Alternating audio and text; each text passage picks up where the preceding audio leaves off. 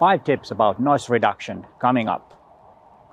The first thing to remember is that everything starts from a properly exposed photograph or a file or image or whatever you want to call it. The reason is that when you have a properly exposed image, then you will have less visible noise in your images. But if you do un underexpose too much and you need to lift up the shadows, you will reveal some noise while opening up the shadows. So always remember to have a properly exposed image. And that's why I personally use ETTR.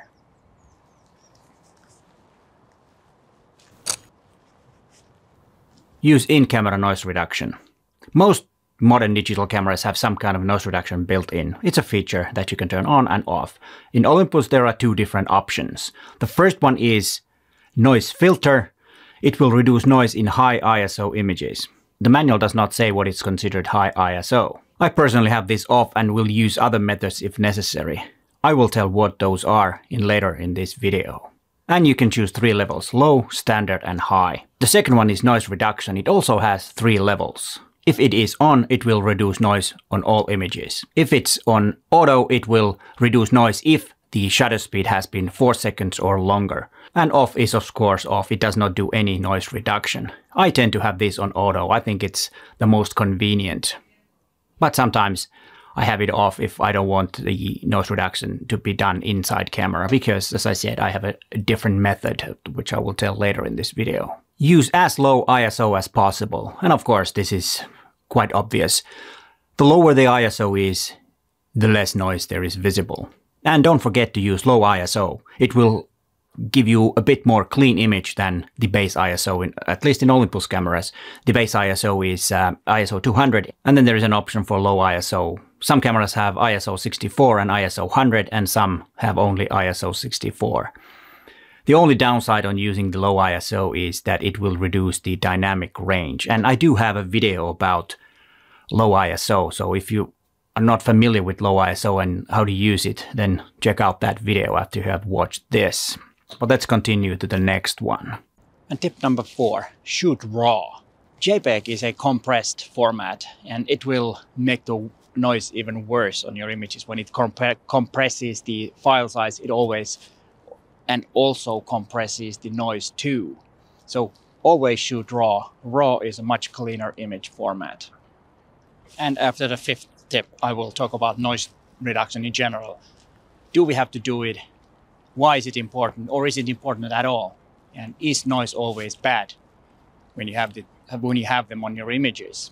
And of course, then after that, I will also have a extra tip with a nice little hack that might help you to get rid of noise in your images. And a fifth tip, use software to reduce noise.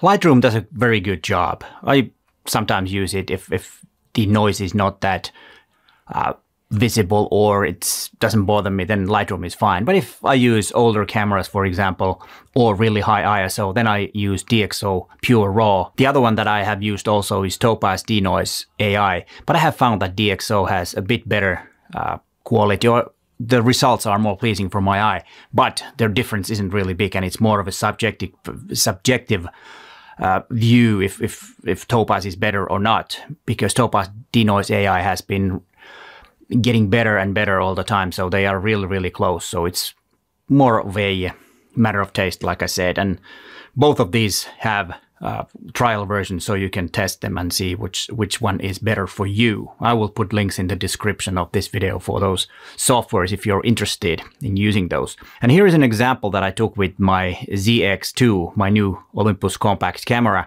with ISO 1600. Uh, and here is a comparison what it does look before and after noise reduction. And I used DxO Pure Raw for this. And one reason I got the camera is that because Pure Raw has profiles for this particular camera. And I think that's one really important thing when choosing an older camera. Check out if the noise reduction software works for it because it will make the camera a lot, lot better. Because of course, a small sensor, nine year old camera, not the best high ISO performance.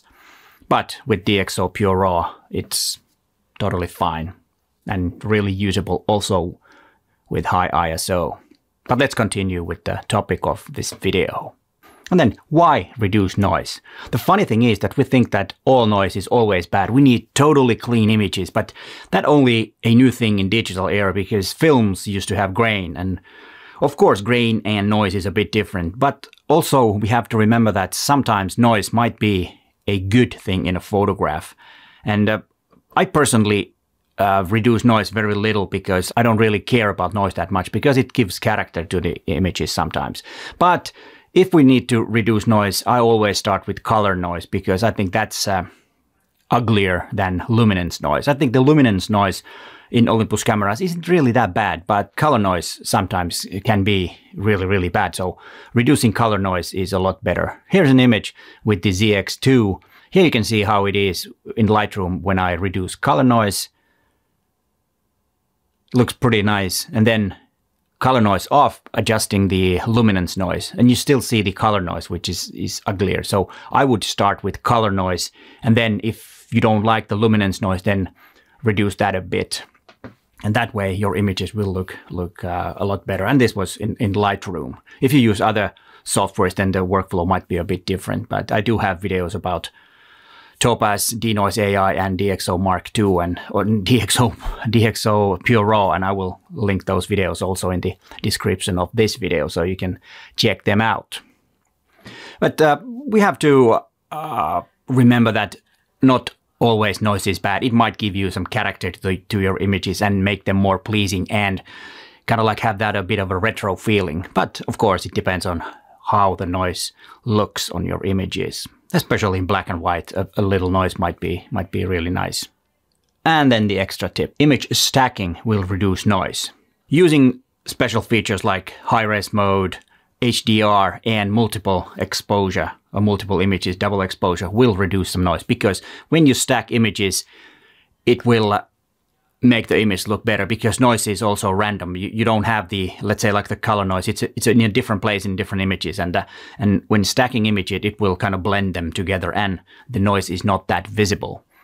And high-res image, for example, is a very, very good way of reducing noise too. So if you need to use really high ISO in some, some uh, situations, then using the high-res shot in Olympus cameras will reduce noise because it stacks images by you know, uh, moving this the sensor and, and taking uh, separ- uh, uh, several images and then blend them together, which is also stacking the images together. And HDR is the same thing. It will have a, a bit of a different uh, exposures and it will also make the dynamic range higher, but it will reduce a bit noise. And then the third option is multiple exposure, which will do so that you can uh, make really interesting images uh, by blending two images together, they can be totally different and make, make some kind of a texture on your image by, you know, making an image of a concrete wall and then something else and you could blend them together and, and you will have texture in the image. But it can also work as a noise reduction